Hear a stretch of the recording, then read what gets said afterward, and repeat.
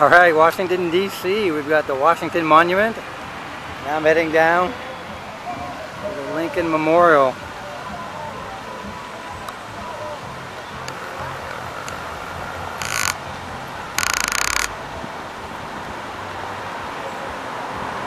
Beautiful August afternoon. Nice cool breeze rolling in. First visit to our nation's capital. Been awesome.